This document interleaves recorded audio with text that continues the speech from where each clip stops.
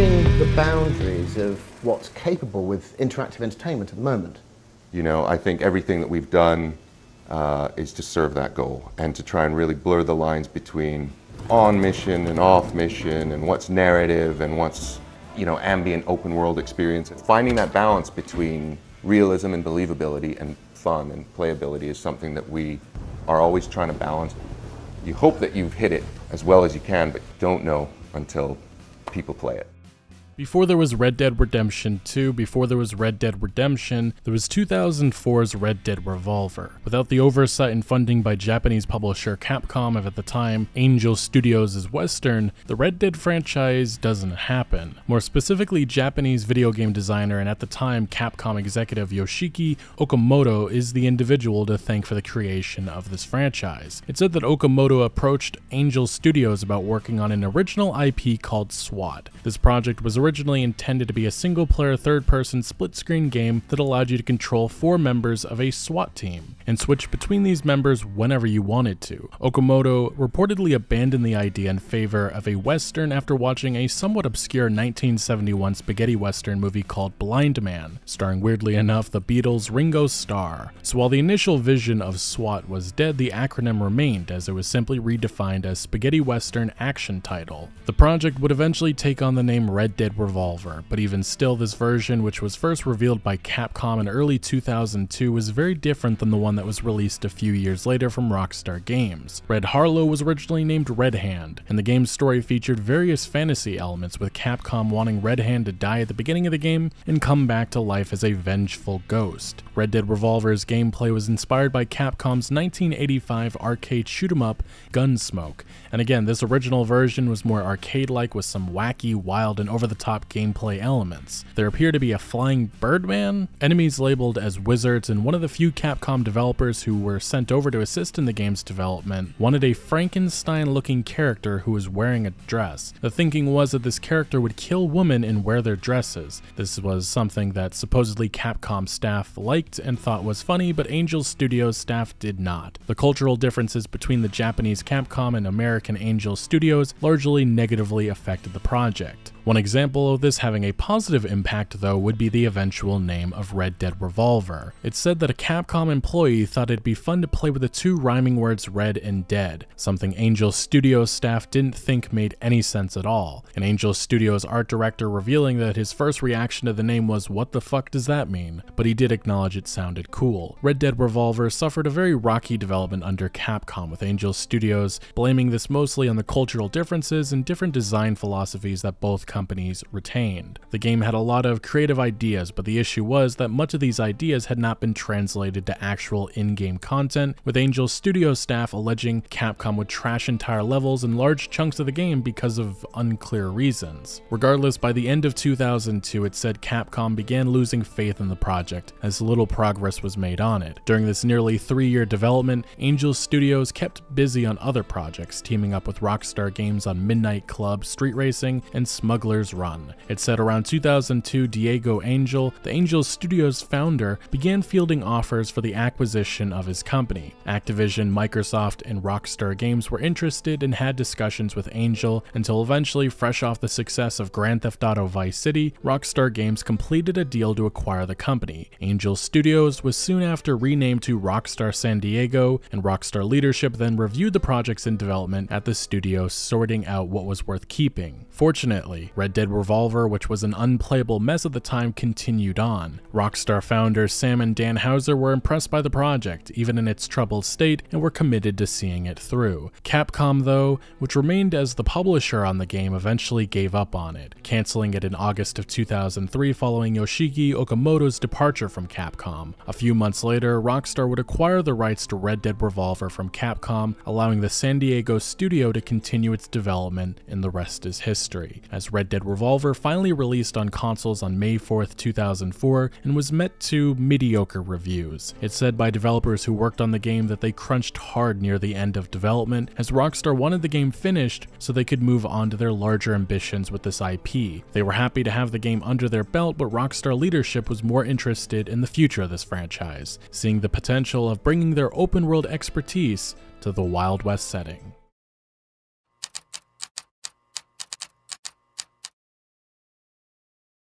Rockstar San Diego's quote unquote Old West project began development in 2005 with a teaser trailer tech demo shown during Sony's E3 2005 press conference. This was the first and last time this project would be publicly shown until February 3, 2009, when the project was formally announced by Rockstar Games as Red Dead Redemption. A few months later, the first trailer would premiere, giving fans a tease at the game's gunslinger protagonist, John Marston, and the vast Wild West open world that Rockstar had built. From 2005 to 2009, the game had undergone a drastic transformation and a disastrous development. One of the most expensive video games made at its time, costing somewhere around $100 million, Rockstar heavily invested in improving the tech behind the game. Their very own proprietary game engine, Rage, was upgraded with improvements made to its draw distance rendering capabilities. The Euphoria character physics software also was upgraded, with Red Dead Redemption's tech director Ted Carson telling GameSpot in an interview in 2010 instead of using canned animations, key injury and death reactions can now be accomplished entirely within a physics simulation. While staggering and falling, characters will realistically collide with nearby props and tumble down slopes. We invested a great deal of effort into creating a natural looking stagger fall performance critical to dramatic and unique gunshot reactions in a classic western environment. Instead of fighting to maintain upright balance like with characters in Grand Theft Auto 4, characters who get knocked over will ride the momentum of the impact like a real stuntman would. When colliding with the environment, the resulting reaction is not just physical but performance based For example, glancing impacts with walls use true body mechanics to spin the character away, flip over a railing, fall down the stairs, get dragged by a horse, or whatever the environment calls for. Characters will react differently to gunshots to their gut, back, legs, arms, and torso. Characters who are suffering from a gut injury will physically crawl away from their attacker until they eventually bleed out. You can shoot their legs as they crawl away, and the legs will lose strength. Even horses have physical death behaviors in Red Dead Redemption to mimic stunt horses from Western films. When they fall, they raise their heads to avoid the ground, and a realistic tendon simulation keeps their hind legs in anatomically accurate poses. Our proprietary animation tools provide us with the ability to dynamically mix and match natural motion behaviors and tightly integrate natural motion behaviors with the game engine like never before. Instead of being hamstrung by what was created with Red Dead Revolver, Rockstar decided to have Red Dead Redemption be a spiritual successor. Rockstar founder Dan Houser said in a May 2009 interview with IGN that, I think the way we came to see Red Dead Revolver as being about the kind of myths and iconic images of the Old West, the cowboy with the scar on his face, the Indian, or the iconic set pieces put together in a somewhat linking story. But it was really about trying to show off these very iconic myths about the Old West. Then what we wanted to do with Red Dead Redemption was to do something that felt more like the reality of the Old West. Story-wise, we felt there was no point linking them because it wouldn't make any sense. Rockstar Rockstar decided to maintain a few gameplay features, such as Deadeye from the first game, but expanded them further, and also enjoyed the freedom of incorporating many new things. A big focus on the project was achieving realism with every feature in the game. Dan Houser said that the problem with Revolver was that it didn't fundamentally play like a Rockstar game. So with Redemption, they wanted it to have that notorious Rockstar design. They wanted the game to be truly their own. One of the most challenging aspects of designing Redemption was figuring out its open world. They knew they wanted to have a story with missions, but adding enough enjoyable content in its rural environment was a big part of the design process. Having a beautiful countryside was simply not enough. They needed interactivity throughout it. So indeed, they added hundreds and hundreds of possible encounters, whether that be an NPC spontaneously robbing someone or a mountain lion hunting a criminal. Houser said that they wanted to constantly surprise the player and make them interested in the world that they are traversing just the same as if it was a city-based game. The technology behind Red Dead Redemption was innovative for its time, and clear evidence of how dedicated Rockstar was to pushing the envelope. The company truly wanted to realize the potential power of the PlayStation 3 and Xbox 360 consoles, which at the time was the next generation hardware for the games industry. Still though, these ambitions came at a cost. There was reportedly about 800 developers on the project, with Rockstar San Diego leading development, with much of the other Rockstar studios assisting.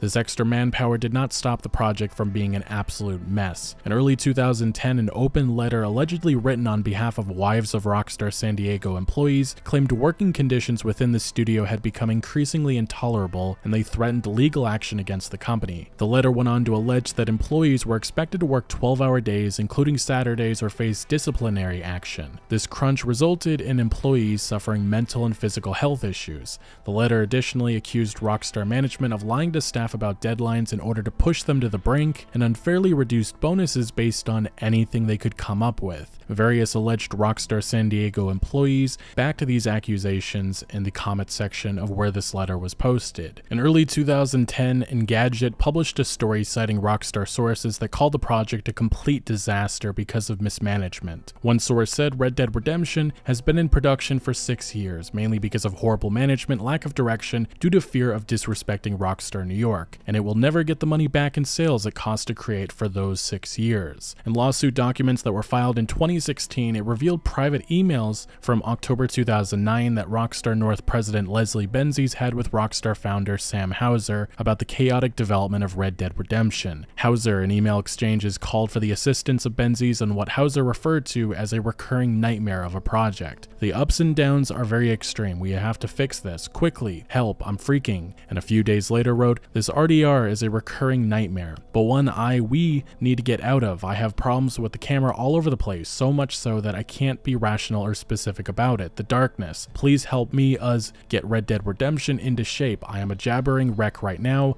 I need the bends. Red Dead Redemption eventually did reach the finish line in 2010, but barely. In 2016, on the gaming website NeoGAF, an apparent former Rockstar Games employee shared a detailed breakdown on the game's source code, something they described as a complete mess, and why the game was never ported to PC. It's a miracle it even works on consoles. It was slapped together and rushed around until things just made sense. The game itself is a coded mess, and it's a surprise it got stable on 360, PS3. If you look at the assets yourself, you can even see things like audio and textures thrown in last minute, not packed in the archives properly. Red Dead Redemption was originally intended to release in fall 2009, but was later pushed to April 27, 2010. That release date was again changed about a month before launch when Rockstar announced another delay. This one though was fairly short, as the highly anticipated action-adventure title was only being moved by a few weeks, as the team needed more time to polish and fine-tune the game. On May 18, 2010, Red Dead Redemption finally released, and Rockstar truly blew everyone's expectations away. The tragic story of outlaw John Marston as he journeys through the dying Wild West was met to universal acclaim, being one of the highest rated games ever on Metacritic. Reviewers called it a masterpiece, praising the story, characters, gameplay, open world music, and more. The acting performance by Rob Wiethoff of gunslinger John Marston became legendary. The diverse cast of character personalities were memorable and most of all interesting from the tough as nails Bonnie MacFarlane, to the very bizarre Seth Briars, to the dumb as rocks Bill Williamson, to the legendary gunslinger vigilante Landon Ricketts, to the hypocritical rebel leader Abraham Reyes, to the once beloved father figure but now maniacal psychopath Dutch van der Linde, to everyone's favorite snake oil salesman Nigel West Dickens. The mid-game introduction into Mexico became iconic with arguably one of the greatest video game songs and moments of all time. The narrative themes and commentary was smart and elegant, with tons of exciting but devastating scenes. Perhaps the most notable of all is the game's ending, which still to this day might be one of the most tragic conclusions ever to a video game. It's a tearjerker moment that was perfectly established through foreshadowing, the narrative threads that we experienced, and the themes that were at play. Civilization was finally taking over the last of the Wild West, and with that, that meant authority prevailing over outlaws by any means necessary. John Marston's goal throughout the game was the safety of his family, something accomplished by paying the ultimate price, something he knew at the very end was the only option left. The ragdoll physics provided endless hours of gameplay enjoyment, though much of it unintentional. The fantastic ambient soundtrack truly brought to life so much of the experience, whether that be simply traveling by horse to a new region of the map, or intense gunfights in an abandoned town now controlled by bandits. For a game largely set in the desert, this open world is one of the most beautiful and stunning environments ever created. 12 years later and it still holds up extremely well. From New Austin to Nuevo Paraíso to West Elizabeth, Rockstar crafted unique regions that provided players with tons of surprises and interactivity. Gameplay mechanics such as the honor system allowed us to establish John Marston as a ruthless, unforgiving killer or a trusted gunslinger savior, and duels allowed players to truly take on the role of the badass western movie gunslinger that we all at some point were infatuated by. The multiplayer component, while not the focus of the game, was pretty darn fun and perhaps a bit underrated for its time. So Red Dead Redemption was a certified masterpiece, a once in a generation game. That success wasn't reserved to just critic and user reviews as it also translated to huge commercial success, as the game sold around 8.5 million copies in its first year. It said prior to launch Rockstar internally had low expectations. They needed to hit 4 million copies to recoup the extremely high development costs and didn't believe that would happen. They were planning to lose money on the project and were more interested in proving the talent of Rockstar San Diego. As of September 2021, Red Dead Redemption has shipped 23 million units, becoming one of the best-selling video games ever. Rockstar Games created one of the greatest pieces of entertainment ever. It was a game that influenced TV shows such as Westworld. It was the game that inspired other developers with what a single-player story-driven game could deliver. It was a game that arguably revived the Western genre across a diverse range of mediums, from video games to big-budget Hollywood movies. After the massive launch of Red Dead Redemption, Rockstar continued this success story with a few years of support for the multiplayer component, but more notably in late 2010, delivering one of the greatest single-player story expansions ever made, Undead Nightmare. It was a reimagining of the world of Redemption, set in an alternate zombie outbreak timeline, with much of the original cast returning. Rockstar went all out with incorporating mythology and redesigning every aspect of the game to have a dark and spooky vibe, with inspiration coming from classic horror films. Undead Nightmare was met to critical acclaim upon its release, and as of August 2011, the standalone retail version of the expansion had sold 2 million copies. By the end of 2010, Red Dead Redemption had won Game of the Year and a number of other awards, cementing its legacy as one of the greatest achievements in gaming history. For Rockstar San Diego, the success was just the beginning as they quickly turned attention to the future of this franchise, figuring out what was next. During Redemption's development, staff had already pitched many different ideas for a new installment. One specific idea that Rockstar North Coast studio head Rob Nelson described as too compelling to turn away was a narrative centered around a gang. More specifically, Rockstar wanted to visit the past life of John Marston as a gang member. There was a lot of history set up in the last game about Marston's former gang and the character of Dutch and what he was all about, and so that was something that we really thought we could explore and juxtapose the idea of being this partially reformed outlaw in the last game to being an active working outlaw living with a gang in this game. As soon as Redemption's development had wrapped up, discussions began to happen within Rockstar San Diego with the characters and style of this next game, with preliminary work beginning in mid 2011. While there was active development on this next game by some, much of the studio shifted their focus for the next few years to further supporting Red Dead Redemption's multiplayer, with the final update delivered in 2014, and they also assisted in the development of games such as 2011's LA Noire, 2012's Max Payne 3, and 2013's Grand Theft Auto 5. But before long, all Rockstar Studios began collaboratively working on the future of the Red Dead franchise. Rockstar Games would commit every studio of theirs into one massive cohesive team, with over 1,600 developers for the next number of years working to create their biggest game yet in terms of content, scope, and cost. The goal with this next Red Dead installment wasn't to just make a sequel, it was to again take this gaming industry by storm with revolutionary and innovative design. Red Dead Revolver established the franchise. Red Dead Redemption proved the talents of Rockstar San Diego. But the next game, Red Dead Redemption 2, was going to set a whole new standard with what's possible with a single player story driven experience.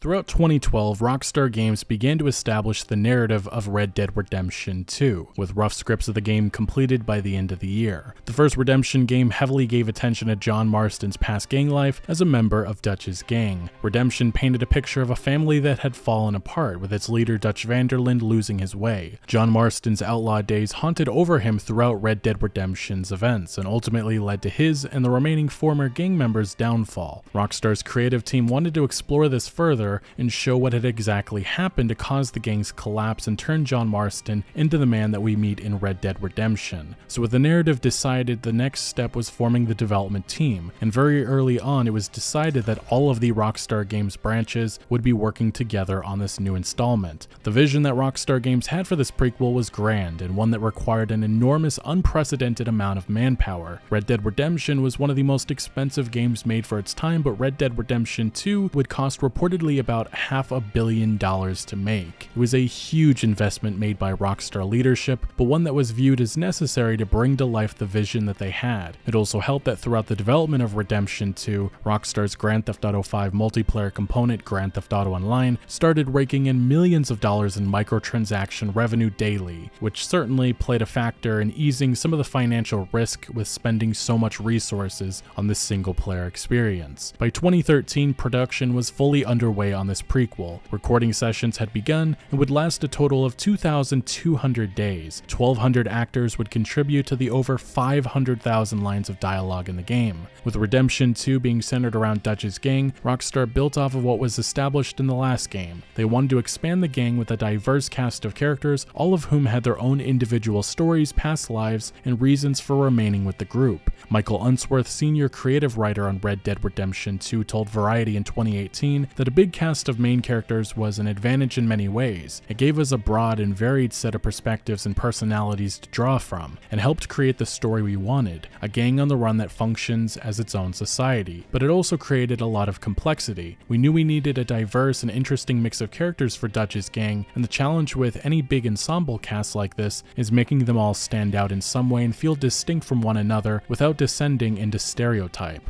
While John Marston was the main protagonist of the last game and was set to return in this prequel, along with the other previously established members of Dutch's gang, Rockstar wanted a fresh perspective. They didn't want to have multiple protagonists like they had done with Grand Theft Auto 5 because they wanted for the player to have a more personal connection with Red Dead Redemption 2's main protagonist, Arthur Morgan. Dutch's gang size was planned to feature about two dozen main characters, and all of them having a meaningful relationship with Arthur was a major challenge for Rockstar's creative team. As Rob Nelson revealed in 2018, it's an evolution hopefully in terms of what we want to do with character development. We wanted to stick with Arthur through the story and see how he changes from the start, what made him the person he is today, and the things he goes through and how those affect him. In order to bring this vision to life, Rockstar applied lessons that they had learned from Grand Theft Auto 5, in which when the player switched to a different protagonist, say choosing to assume control of Trevor after playing as Michael, life wouldn't just come to a halt for Michael when you're not controlling him. Rockstar made it that these three GTA 5 protagonists were all doing something meaningful while the player was away from them, and when you would return to them,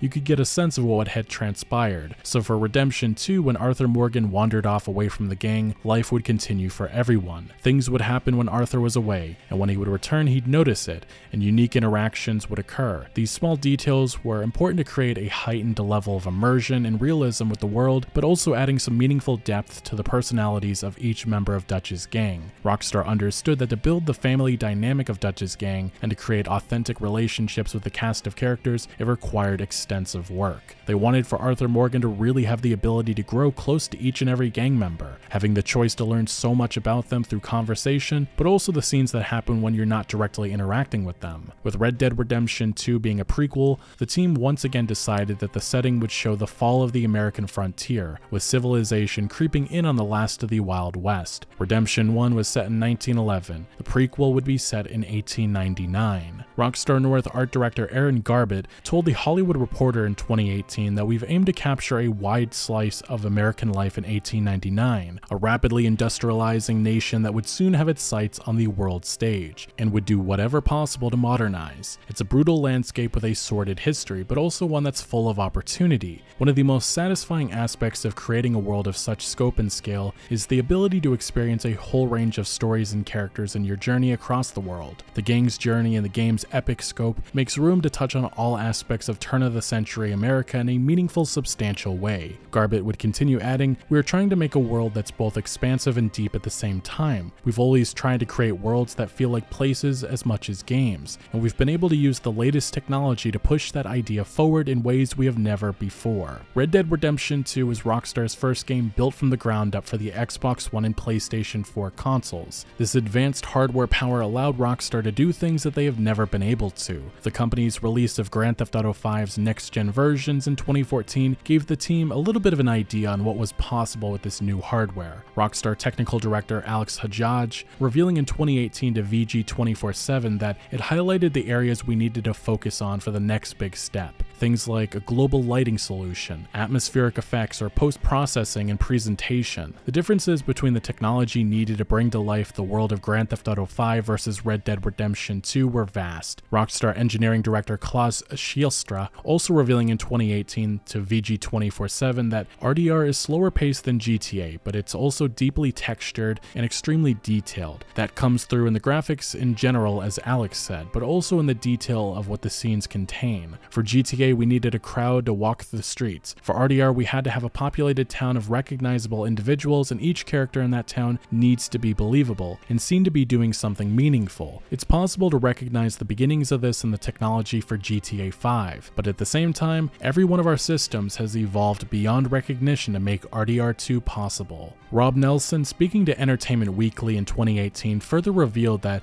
with the additional memory, we really exploded on this game. Besides the graphics and engine enhancements was memory for animation, and so we ended up being able to have 10 times the amount of animations in this game versus GTA 5, which means that the world around you, it's going to look and feel much more alive and varied because you're not seeing as much repeating loops animations. This resulted in Rockstar being able to really flesh out the open world with unique interactions. An example of this would be the implementation of over 200 species of animals, all with unique behaviors, every one of them capable of interacting with each other, and you. Each region of the open world had its own ecosystem, so the player would only find animals in their natural habitats, each spread out into their correct social groups and behaving as the species would in the real world. Hell, the Rockstar team was so committed to realism with this aspect of the world building that they even made it that when a male horse encounters cold weather, their balls shrink up. Furthermore, Nelson explained in 2018 to the BBC even more details that they added to players' most trusty companion. For things to mean something, they need to cost something.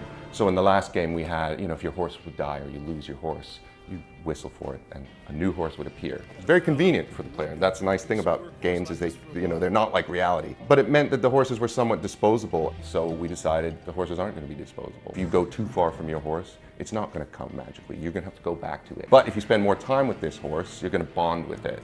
And then it will come to you from a greater distance. It might be less afraid to go into the swamp where there's alligators. Or it will stay with you under duress. You know, things like that. This is all just incredible attention to detail, yes, even the horse balls. All of this was possible thanks to the new console hardware, but it did require Rockstar to spend an enormous amount of time upgrading their own technology. Rockstar North Technology Director Phil Hooker told VG247 in 2018 that we used Euphoria specifically to enhance the physics-based reactions of both humans and animals and have really evolved it on Red Dead Redemption 2. However, Euphoria is just part of how we simulate and animate characters and outside of it, we have radically overhauled our entire animation system to create more accurate human-like and animal-like behaviors across the board. Speaking to GQ in 2018, Dan Houser revealed that over 300,000 character animations were in the game, and the company had overhauled its AI system properly for the first time in 17 years. All of these technological advances allowed Rockstar to truly bring to life their vision for Red Dead Redemption 2. The team at Rockstar heavily relied on motion capture, and this too is yet another technological challenge for a variety of reasons. One had to do with simply the fact that Dutch van der Linde actor Benjamin Byron Davis was six and a half feet tall, but the character of Dutch was only six feet tall. In late 2019, Davis explained at Comic Con Honolulu the behind the scenes discussions that were had to fix this issue. When we did the first one, I was more in line with his size and shape. The scene turned into the sort of the scene when Dutch first meets uh, uh, Cornwall in Valentine. That was two and a half years into the shoot. They'd had me sort of standing at the bar, and so the bar's built, and they haven't built a table. And I say, I, why, why aren't they building the table? I want to sit at the table. And the director, Rod, says, why do you, why do you want to be sitting at the table, Ben? And I said, because I think it'd be cool when he comes in if I stand up and show him how big I am. And Rod says, you're not, you're not that big. And I said, what do you mean? He says, Dutch is six feet tall. And I'm six and a half feet tall. Once I knew that, things like this came up. Like I'd go reach for a bottle of moonshine in a, in a, uh, in the back of a wagon, say. There was a mission where that happened. And I, I could go and I'd reach it, and then I'd stop and I'd ask the animator, can I reach that far? And the animator would say, oh no, that's a good point, you can't. So they'd put it closer because for a six foot person's arm, not a six foot six person's arm. For about five years, the massive cast of Redemption 2, or as Benjamin Davis describes it, in skin tight spandex covered with ping pong balls with helmets on our head. This wasn't simply voice acting, it was tons of performance motion capture work. Davis and the many other actors that were involved in the game's development have spoken over the years about the importance of the animators at Rockstar and how they were involved with every single shoot. They'd bring along rough mock ups of how each scene would look in the finished game to help the actors and camera crew. The animators also instructed the actors on how to properly respond to the environment around them. This meant every single movement, as simple as shivering in the cold, was carefully choreographed by the animators. Besides the human cast, horses and dogs were also motion captured, but even this came with some other rather interesting challenges. Arthur Morgan actor Roger Clark, speaking to BAFTA Guru in early 2020, explained. Uh, but I do remember working with dogs, and I remember it was a problem because the they need to ball. Need, the, the ball kept falling off on his tail because he was wagging it so much. They had to really get like I, I don't know how they did it in the end, but there was this dog running around in mocap suits. It was hilarious. Roger Clark in the same interview touched on how the cast would constantly keep in touch with each other when they were outside the studio, discussing different scenes and other aspects of the project. They were limited with who they could communicate with about the game due to strict NDAs that they had to sign. That meant not telling most family or friends what they were even working on. I shouldn't even say that, but I, my wife knew. I was just telling people I'm working on a video game, and it got to the point where, like, three, four, five years in, I think people were starting to think I was bullshitting them. They're like, you still working on that video game, Rog? You know, it's okay if you can't find work as an actor. We still like you. You're still our friend. You don't need to.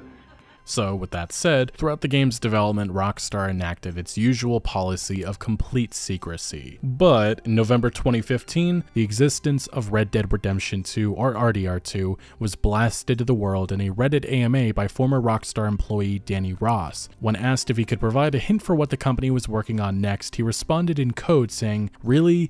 Dumbass Really 2, which translates to RDR2, or more specifically, Red Dead Redemption 2. At the time, there was confusion with this name as some expected the next installment to be named something like Red Dead Retribution or Red Dead Revolution. The thinking was that Red Dead R was the constant variable, but fans would later discover that it was actually in fact Red Dead Redemption. Fast forward to April 2016, Red Dead Redemption 2 would suffer an even bigger leak, this being part of the game's map. However, this leak did come with a lot of people questioning its authenticity, even after outlet Tech Radar verified it as the real deal. The mention of a major city being called New Bordeaux was viewed as a red flag, as that was the setting of Mafia 3, but little did fans know at the time it was actually just a placeholder. Rockstar Games and Hangar 13, the developers behind Mafia 3, are both sister studios, both companies under Take Two Interactive, and it's believed Rockstar simply did this because they hadn't settled on a name yet, but the city was familiar in many ways to the setting of Mafia 3. For the next number of months, fans of the franchise debated if the leak was real or not, while others believed a reveal was imminent, and that day did finally arrive with a brief tease on October 16, 2016. The marketing campaign for Redemption 2 began, with Rockstar updating their social media logos to a grunge red. The next day, the company shared the first artwork of the game, showing silhouettes of seven mysterious characters. The day after that, Red Dead Redemption 2 was officially announced with a release window set for fall of 2017, and the game's first trailer announced as well for October 20th, 2016. As is the case for many of Rockstar's game reveal trailers, the one for RDR2 didn't offer much other than showcasing beautiful and stunning environments, a glimpse into the fantastic Woody Jackson produced soundtrack, a tease at Dutch's gang, and the main protagonist, Arthur Morgan. After this reveal, Rockstar would again, for the next number of months, enter into complete silence, but the leaks would continue to happen. Perhaps the most substantial one to hit the game was a Reddit post coming from a Reddit user going by the name Red Dead Insider, and they accurately leaked much of the key aspects of the game. This included gameplay mechanics, story details, the main protagonist's name, character information, the epilogue, and the actual state of the game's development at the time. Interestingly, it was said by the anonymous poster that the last I heard, which was a few months ago, the game was kind of stuck in development hell of sorts. The team kept remaking a vertical slice demo for the leaders of Rockstar, and they are not impressed. They didn't find it different enough or innovative enough. Hopefully they get out of that rut. I've also heard that since Grand Theft Auto 5, morale at Rockstar San Diego has been bad. Long timers are quitting, lots of turnover, lots of frustration. The leak was on the money. It shared many key details about the game, but also highlighted a serious problem within Rockstar, and that was the massive ambition and innovation similar to Red Dead Redemption's development came at a cost. In late 2018, Kotaku published an expose on the development of this prequel, with Rockstar San Diego staff revealing that between 2011 and 2016, overtime was not optional. It was mandatory with developers expected to work at least 80 hours a week. Like with Redemption 1, this crunch culture caused numerous developers to suffer mental and physical health issues. Developers from other Rockstar studios stated that crunch on Redemption 2 really intensified around 2016 and 2017, and the biggest issue with the work environment was the culture of fear. However, many did claim that things were different now versus then,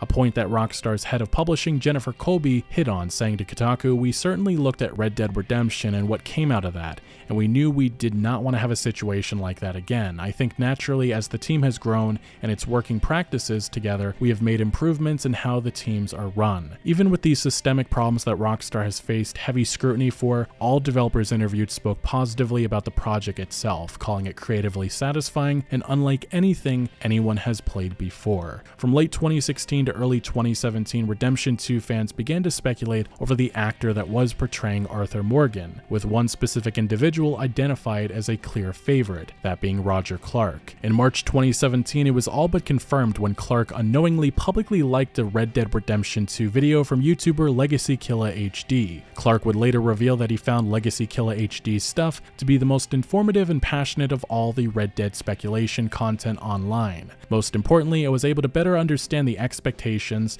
and hopes of the fans as we were working. It helped put my work in context. Rockstar's Dan Houser would say in 2018 about Clark's performance as the lead protagonist in this prequel, the dude says 20,000 or 30,000 lines of dialogue in the game, and there is not one where he drops it. He got so little wrong, what he gives to it is fantastic. It's not really like people have seen in our games before. The first major setback to hit Red Dead Redemption 2 came on May 22nd, 2017, when it was announced by Rockstar Games that the game was being moved from fall 2017 to spring 2018. In a statement on their website, they explained that some extra time is necessary to ensure that we can deliver the best experience possible for our fans. With this delay announcement, they also provided a new batch of in-game screenshots, and a few months later the second trailer for the game premiered, giving fans a more proper introduction to Red Dead Redemption 2's narrative and lead protagonist Arthur Morgan. What followed was again a long period of silence until eventually on February 1st, 2018, it was announced again by Rockstar Games that the game was being delayed as they needed extra time for polish. The game was being moved from spring 2018 to fall of 2018, but the difference this time was that an actual release date was given. Red Dead Redemption 2 was set to launch on October 26, 2018, and again like with the last delay, Rockstar provided a new batch of in-game screenshots. The commitment to an actual date was viewed as encouraging by fans, but these two lengthy delays, while disappointing, were hardly surprising considering Rockstar's reputation. The company has always had development trouble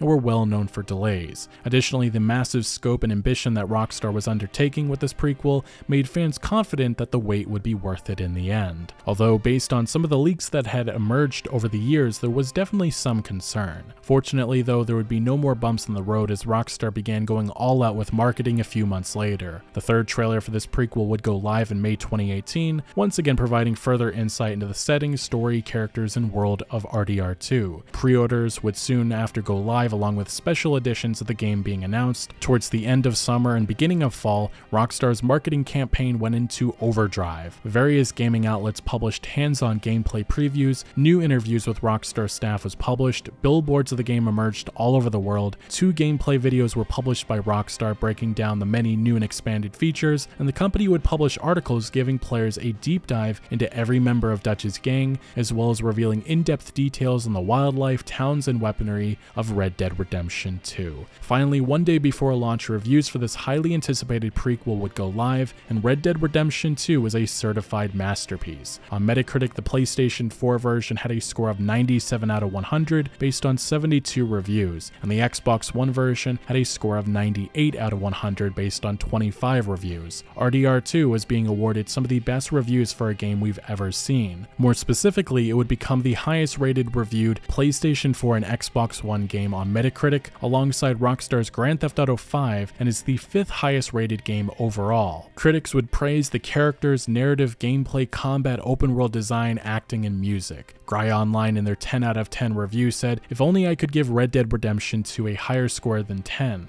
I would. This is by far the best open world game that has ever graced the face of Earth. No other sandbox can even dream of holding a candle to Rockstar's newest gun blazing, incredibly detailed Western epic. Digital Trends in their 10 out of 10 review said, Red Dead Redemption 2 is a magnificent open world game and one of the greatest games of all time. The Digital Fix in their 10 out of 10 review said, Red Dead Redemption 2 takes everything that made the first so spectacular and elevates it to a new level. It boasts an enthralling story coupled with rock solid gameplay and is perhaps one of the best games ever made. IGN Italy in its 10 out of 10 review saying one of the best open world games ever, with the single best story ever written for a video game. Stevivar, writing in their 10 out of 10 review, Rockstar Games continues to prove that when it comes to creating games, it's the master at pushing the boundaries of what can be achieved. On October 26, 2018, Red Dead Redemption 2 would finally release to the world, setting a new precedent of what's possible with a video game. The hype was extreme before launch, and somehow, someway, Rockstar truly delivered on creating something far better than any of their previous games. It took years of development, years of hard work, years of patience,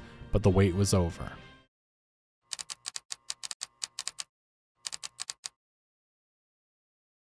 Red Dead Redemption 2 is a remarkable beast of a game. It shows the power of storytelling in this medium, not necessarily in regards to just writing and the actor's performance, but also the environment and music that all comes together to create something we have never seen. This is a game that truly sucked me in and brought me to tears numerous times. It's an emotional, often devastating 60 hour ride. We assume the role of Arthur Morgan, a trusted enforcer in Dutch's gang. The game sort of throws a curveball with how the player can change Arthur into the badass outlaw we want him to be. I've never had the heart to turn him into a dishonorable, merciless killer that steals from beggars and steals from children, but that option is most definitely available. Your actions in Red Dead Redemption were more or less not that impactful. Sure, you could kidnap a nun, tie her up, and throw her on train tracks for a good laugh, but John Marston was always going to be very indifferent, or I suppose stoic, to much of the chaos that happens in that game's story. That was by design, but in this prequel, especially from a story point of view, the things you choose to do matter. Even being a badass outlaw with your gun aimed at passengers on a train as you rob them, there's a way in which you're supposed to conduct yourself. Smack them upside their face to get a few extra dollars and there is a consequence. Still though, shaping who Arthur Morgan is isn't equal to the clean slate you'll make on your 10th playthrough of Skyrim. He very much starts off as an intimidating force that can use brute strength and his ruthless attitude to get his way. That's who he has been much of his life until karma hit him like a freight train. Throughout the game's main story and side adventures, it's up to the player to decide if that's who you want Arthur Morgan to remain as. If so, various scenes play out with a darker tone. There's a very clear choice of good and evil here, and not much more than that. Rockstar certainly isn't going all out with incorporating RPG elements, but they do take advantage of quite a few of them in this game. But yes, a good Arthur will see visions of a bright light shining down on a buck along a very calm and uplifting musical beat, while bad Arthur will see visions of a menacing coyote with darker lighting and a more dramatic musical beat. These scenes were surprisingly very powerful with their effectiveness, progressively getting more and more impactful as the story went on. Indeed, though, the Arthur Morgan that I embraced in every single playthrough I've had of the game is the good natured, gun blazing outlaw that eventually feels true regret for how he's gone about life. He understands he is not a good person, but by the end, he evolves into a much different character than the one that we meet at the beginning of the journey. A flawed man who has fears, fears that are realized once he discovers that his time is nearing the end. It's not just about emotional scenes with Arthur reflecting on his failures in life or the relationships that he abandoned, but the choices he can make in the present to set others on the right path, his redemption arc. The character development of this one individual is both tragic and beautiful. Roger Clark's performance is a big reason for why this works so well. Early on, Arthur is extremely aggressive in his demeanor, taking no shit from anyone, but by the end, he has evolved into a different man, one that is vulnerable, realizing the errors of his way and also that of his father figure Dutch. Rockstar Games did the impossible here with crafting a lead protagonist even more likable than Red Dead Redemption's lead man John Marston, something that nobody before launch viewed as a possibility. But this praise isn't just extended to the character of Arthur Morgan as the entirety of Dutch's gang is full of fleshed out, interesting, and diverse personalities, all contributing to make a one-of-a-kind experience. The issue with many games with huge ensembles is the fact that not enough characters are given the proper amount of time to be developed. It tends to lead to a lot of one-dimensional characters that are there solely to push the player to where they need to go. That in my opinion is boring and lazy, but easy, which is why I personally think so many video games struggle with crafting narratives that feel authentic and real. In this regard though, Rockstar was creative with how they directly and indirectly had Arthur Morgan building a relationship and bond with each gang member, whether that by exposition dumps as you ride from one location to another, story missions in which conflict happens. Sometimes it was as simple as walking into the gang's camp and seeing how the characters interacted with each other. All of these moments better establish the many different, unique, and evolving personalities within Dutch's gang. Miss Grimshaw would keep the camp in order, acting like a mother figure in many ways. Uncle was the lazy degenerate he was in the last game. Reverend Swanson, an often broken, unreliable drunk, eventually changes his way for the better. Charles, the calculated and reserved new recruit, sticks out like a sore thumb as in many respects he's the most honorable of the bunch. Strauss, the cold and serious bookkeeper,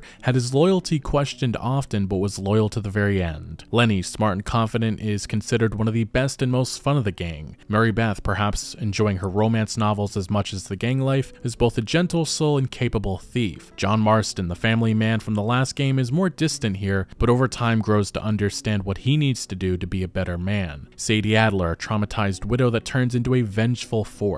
Micah, the most unpredictable and unlikable of the bunch, proves to be manipulative and selfish. Hosea Matthews, a father figure to the gang as well as Dutch's closest friend and right-hand man. He's a smart, witty swindler and most importantly respected by everyone in the gang. His long-lasting relationship with Dutch plays a big factor in why the gang is held together for so long. You could argue that Hosea was the heart of the gang and when he passes on, things are just never the same. Then there's Dutch van der Linde, the idealistic leader who at his best cared for his people and wanted to fight against government tyranny as he views the technological and industrial advances as a means of control. At his worst though, Dutch slowly descends into madness, losing his way and essentially forgetting what he was fighting for in the first place. Benjamin Byron Davis, who portrays the character, does a phenomenal job with making you understand why so many believe in him. Dutch initially comes off as charismatic and inspiring. You can feel the confidence in his voice as he commands the gang, as if they're preparing for war. In turn, this strong leadership allows the gang to flourish, grow, and overcome the obstacles in their way. Throughout the game, that man ceases to exist, and 12 years later in Red Dead Redemption, we meet a man who is a violent maniac who in the end admits regret and accepts civilization taking over the last of the Old West. He's aware that his fight is a losing one, one that does not even have purpose anymore, yet he couldn't stop and wouldn't, no matter the damage he created and the monster he turned into. The evolution to this specific character is yet another example of the brilliance of Rockstar's narrative team.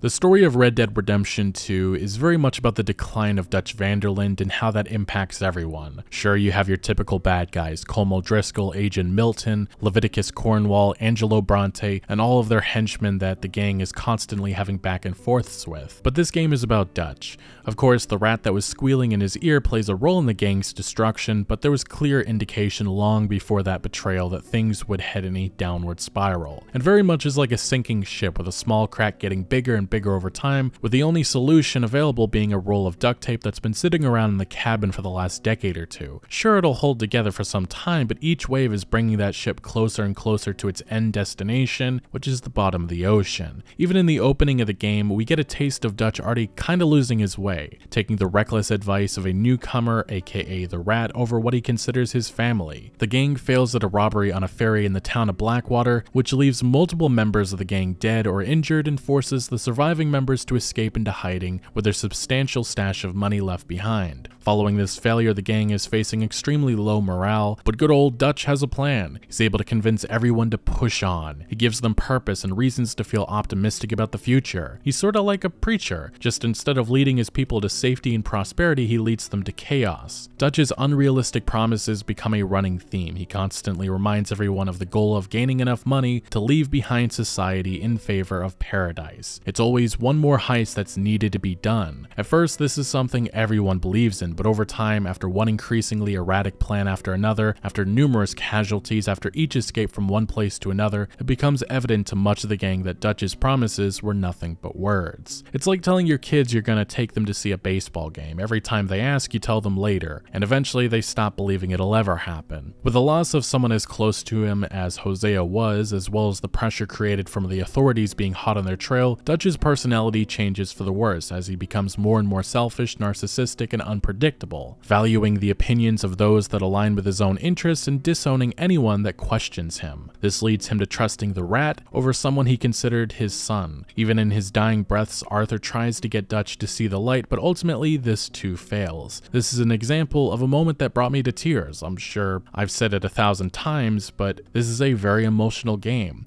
The entirety of Arthur's last ride is an emotional wreck for myself. Arthur saying his goodbyes after rescuing Abigail with Sadie, his last thank you to his horse, his passing of his iconic hat to John, and his final scene with Dutch. Rockstar outdid themselves with building for these moments. Now, of course, there are a few variations to how the main story concludes, but again, I only considered one of them canon or the right ending to the Arthur Morgan I played as. Now, while especially in the later stages, it's very bleak and again emotional, that isn't the case for the entirety of the game. Throughout the experience, there's various moments of just being a crazy, happy, gunslinging cowboy. What do I mean by that?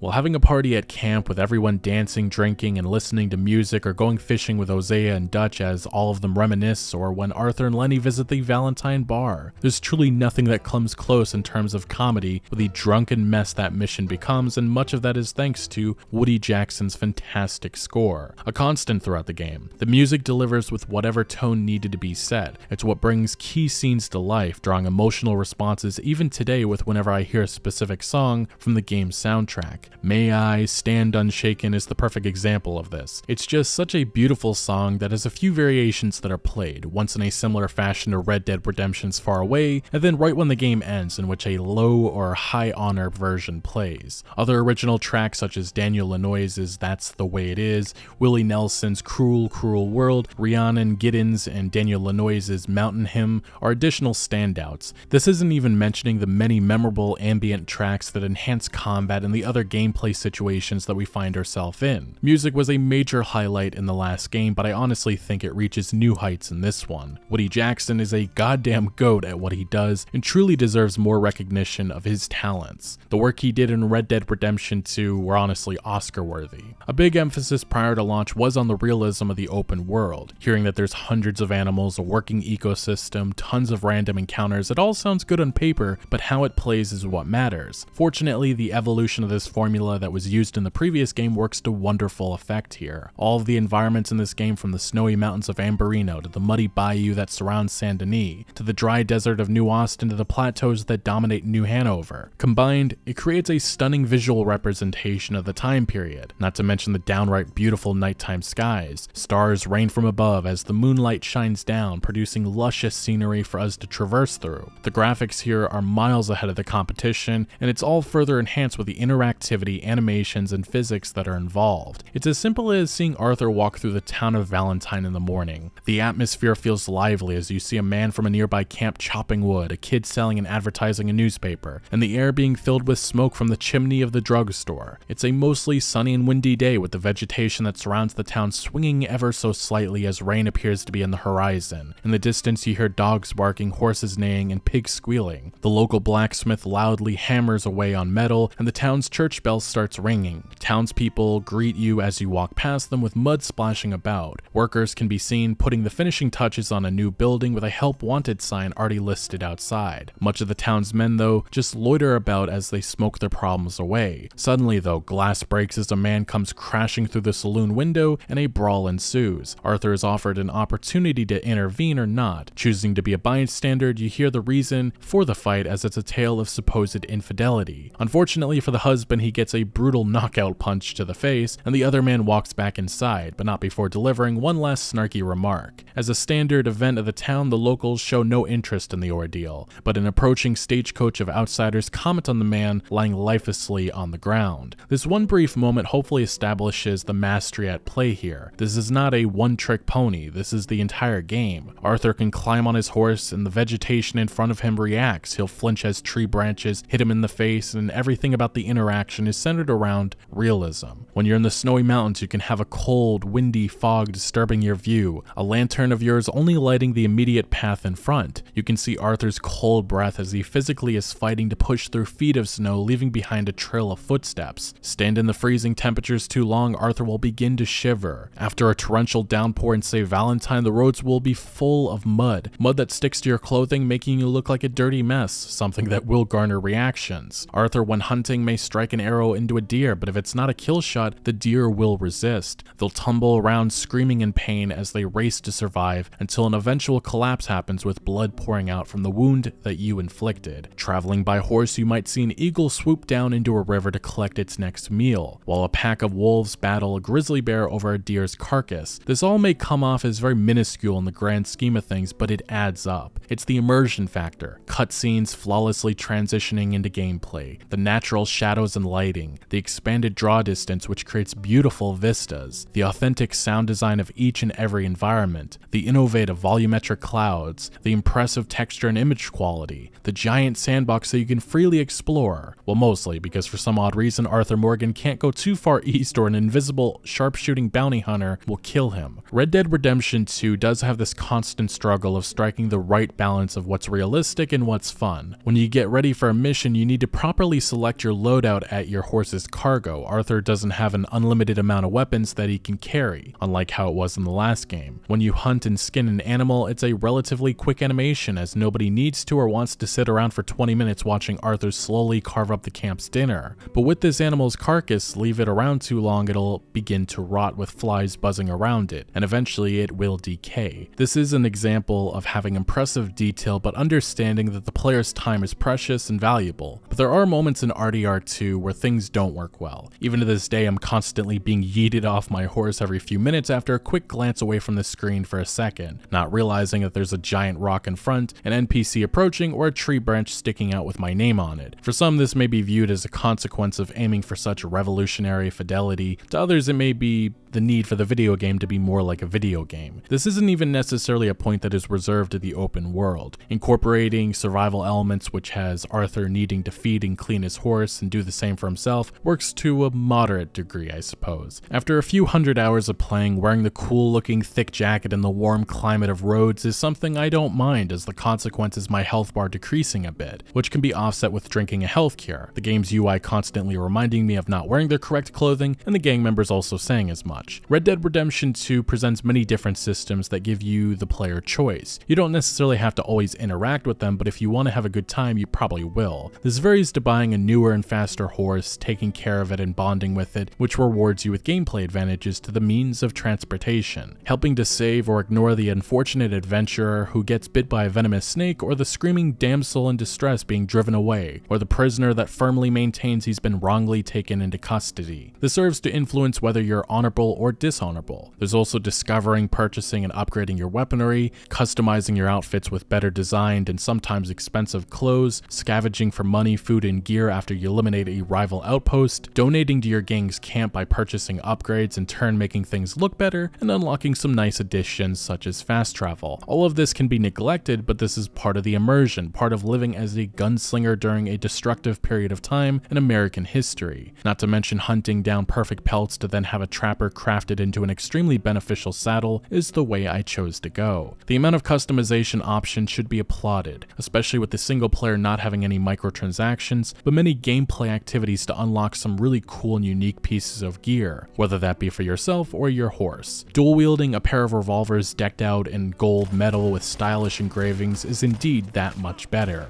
If you are going to be a menace to society, you might as well look good doing it. Now, a very big new addition to this franchise is the way that you can interact with NPCs. There are now dialogue options. You can be a piece of shit and depending on who you're messing with, they might just pull out a revolver and try to challenge you to the trigger. You also can be a kind-hearted cowboy that greets everyone you see to the annoyance to some and to others a pleasant surprise. Although it defeats the alternative option I suppose which is skipping the talk and robbing anyone and everyone. The choices you are presented with aren't as expansive or detailed as the typical Obsidian RPG, but there is enough here to express the personality of your Arthur Morgan. In. Especially when you commit a crime, dialogue can present an interesting dynamic in which you can intimidate any witnesses into silence. Even then, there's a human component here in which you have to trust that your intimidation worked, or you take the easy dishonorable option of giving them some lead. The hundreds of actors hired and hundreds of thousands of dialogue lines recorded went into building this aspect of the experience. This isn't even limited to just the random NPCs that you may or may not encounter, but also that of your gang. Throughout your time in camp, you can greet and antagonize. Sometimes they'll approach you with conversation. Sometimes you'll approach them. You can piss everyone off. They'll tell you to stop, and eventually you'll get what you deserve a knockout punch from one of the gang members. When you awake, these characters will remark on your previous attitude. It's again not as substantial or narrative defining as some RPGs, but it does more than enough with adding extra layers to interactivity and making the world feel alive. A very interesting decision made by Rockstar was to ditch the more arcade-like fast-paced gunplay of Red Dead Redemption in favor of, you guessed it, something more realistic. Fortunately, the shooting mechanics here are a blast. First or third person, it's fun. Importantly, the enemy AI and behavior most of the time feels competent. The movement of Arthur, especially when clearing out more than a few enemies, can take some adjusting as he truly feels like he's carrying a good 40 pounds of equipment on his back. Along with the introduction of kill cams to the franchise, combat encounters feel satisfying when you aim down sights, squeeze the trigger, one-shot your opponent, and they collapse to the ground. Nothing beats watching in slow motion your double-barrel shotgun ripping an enemy to shreds as their body, or body parts, are sent a good 10 years through the air. Every single weapon has carefully crafted animations. The weapons have to be maintained or the performance will drop. The more you use a specific weapon, the more familiar you become with it, which increases all of its stats, such as its range, reload speed, and accuracy. The first few hours using something like the Cattleman revolver can be a bit of a pain in the ass, but once you get access to and familiar with something like the LeMat revolver, it truly is like a kid walking into a candy shop in terms of the joy you get with wreaking havoc on the unfortunate O'Driscoll souls that end up in your way. Ultimately, Red Dead Redemption 2 in almost every single way is a genre-defining experience, brutal, devastating, and impressive. The music, AI, open world sound, combat, side quest customization, characters, visual fidelity, story, and overall gameplay all comes together to make a game that is truly unforgettable. Because of time and technical challenges, you rarely see outside development teams even attempting to do things such as designing it that NPCs actually construct and complete railroad tracks. Dozens of NPCs with a full campsite building something that a lot of players may never see. Hell, there's even houses and other structures being built from the ground up. From start to finish, all of this construction is fully animated. You could sit back and see it gradually form over time and is yet another example of Rockstar's successful commitment to designing an evolving world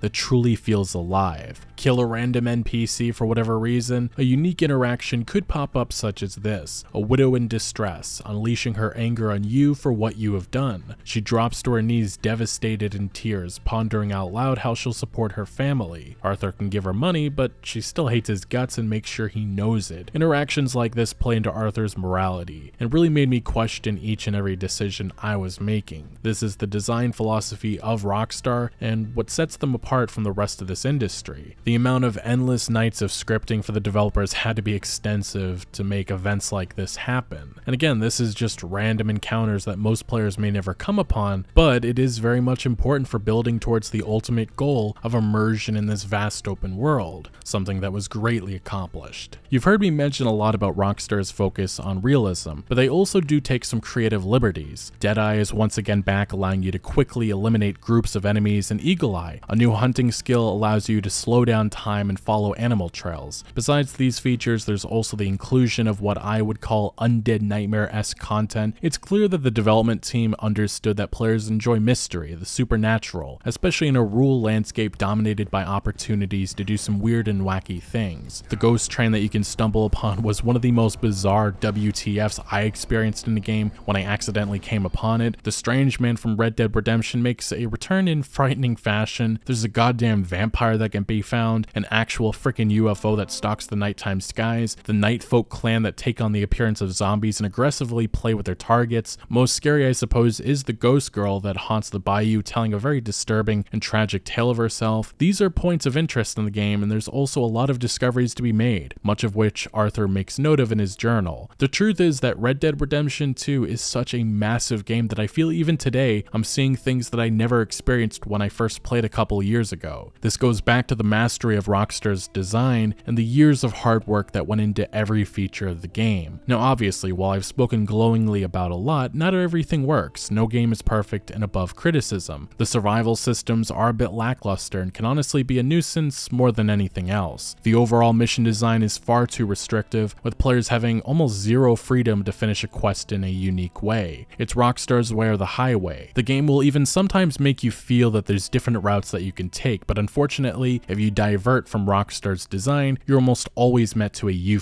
failed screen. I didn't mention the epilogue in regards to the story for a reason. This is, let's just be honest, it's pure fan service. 8 hours of connecting Red Dead Redemption 2's events to Red Dead Redemption. It does give a nice conclusion to many characters and a true proper ending to the game's main story. We also gain access to playing as Jim Milton, but it's still about 8 hours of content that feels like it drags on for too long. As someone who loves this universe, I enjoyed seeing how these characters evolved from 1899 to 1907, but even I recognize that it doesn't work as good as it should. That might honestly just be because Arthur Morgan is a far more interesting lead protagonist and not playing as him just feels a bit off the entire time. It also could be that this content doesn't really offer much in pushing the narrative themes forward in a satisfying way. Also somewhat of an issue with the Guarma chapter of the main story. Still though, the epilogue offers some absolute beautiful moments, especially when John revisits the old campsites years later. You can hear the old voices of the gang. You remember the good and the bad. When everyone was together, what's left behind now are these empty, abandoned locations in which many memories for John Marston and the player were made. It's the attention to detail that hits hard emotionally, the feeling of loss, the lonesome atmosphere. Red Dead Redemption 2 was a game I eagerly awaited for years. Very rarely can a project like this exceed the already high expectations that I had, but Red Dead Redemption 2 accomplished that. The moment to moment gameplay is engaging and intense. The tale of Arthur Morgan is one for the ages, and the technology behind this game will likely fuel even further innovation in the industry for years to come. Rockstar set out with the tough objective of topping an all time great experience, and they did it, creating the new gold standard in many respects. Red Dead Redemption 2 is a triumph, an achievement like we have never seen before.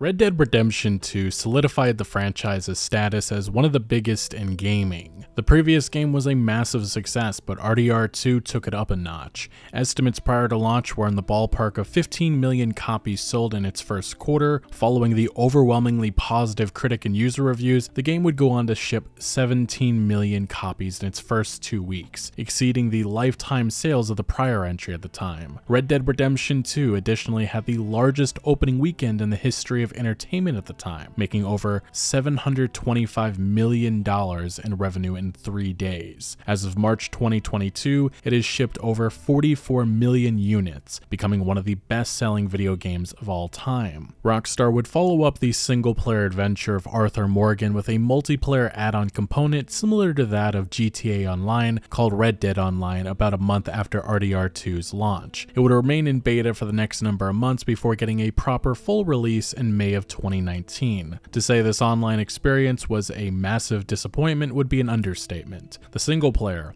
fantastic. The multiplayer, not so much. Rockstar's design of Red Dead Online heavily incorporated narrative content, narrative content that is simply not good at all. It leaves a bitter taste in my mouth and a bit of sadness that these resources couldn't have been spent elsewhere, like on a single player story expansion, Sadie Adler Adventure in Nuevo Paraíso, Charles Smith in Canada, Undead Nightmare 2, all things that fans hoped for, but we live in a post GTA Online landscape, which means that in the eyes of Rockstar Games, single player DLC isn't worth the time and effort, which is truly unfortunate. Rockstar Games would be showered in awards for what they created with Red Dead Redemption 2, remember the single player, winning Game of the Year from the Australian Game Awards, Brazil Game Awards, Italian Video Game Awards, as well as from outlets that include GameSpot, Complex, Edge Magazine, Game Reactor, The Guardian, and many more. At the Game Awards 2018, RDR2 received 8 nominations and went on to win 4 awards Best Audio Design, Best Narrative, Best Score slash Music, and Best Performance for Roger Clark as Arthur Morgan. On November 5th, 2019, Red Dead Redemption 2 would finally make its way to PC, being the first game in the franchise to make its way to the platform. In a follow up to their damning report about Red Dead Redemption 2's development,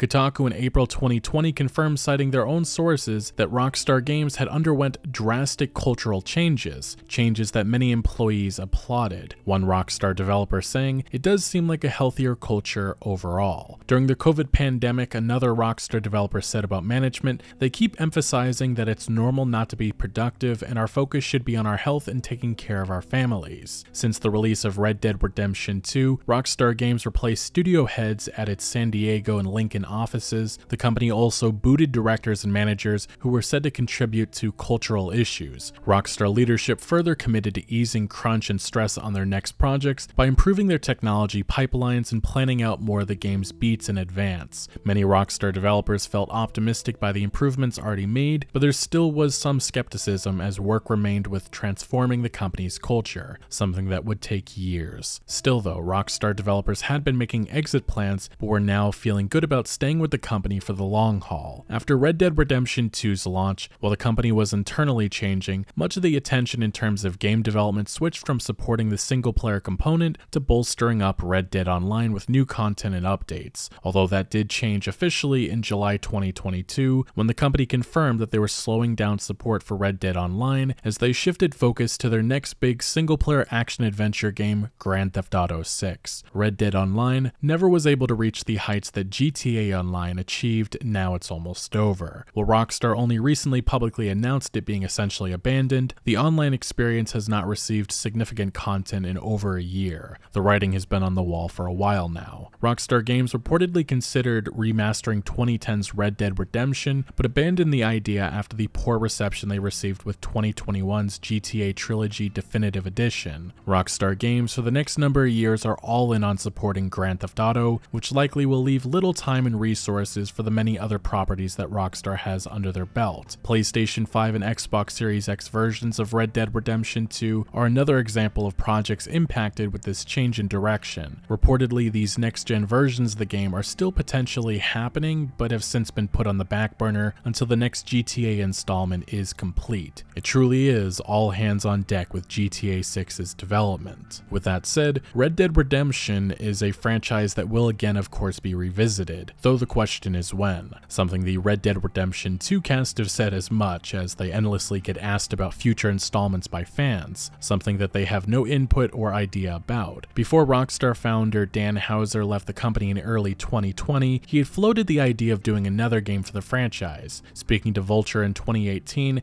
Houser said Rockstar might do another Red Dead game, if this one does well enough and we think we have other interesting things to say. With Houser's departure, it's uncertain what this means for the future, as he played a significant creative role in RDR2's development. What is certain though is that Rockstar Games has produced two truly innovative Red Dead titles that took the games industry by storm. If or when a third game comes about, the expectation will be of Rockstar creating something that is nothing less than special.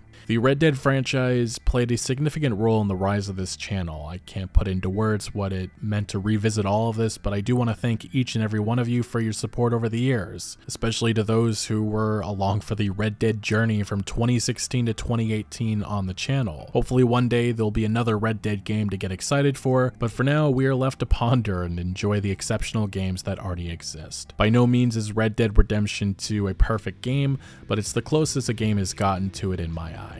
Anyway, what are your opinions on the Red Dead franchise? Do you have a hot take or align with the majority? Let me know down in the comment section below. But thank you for watching. Make sure to leave a like if you did enjoy this video or if you found any informative value. And make sure to follow my other social media accounts for updates on new videos. Links are always down in the description below. I'm most active on Twitter giving opinions on news that I do not always get into video form, so do make sure to follow me over there. Also check out my Discord for all sorts of discussion on games. And again, thank you for joining. Consider subscribing for more videos like this, and Outlaws to the End.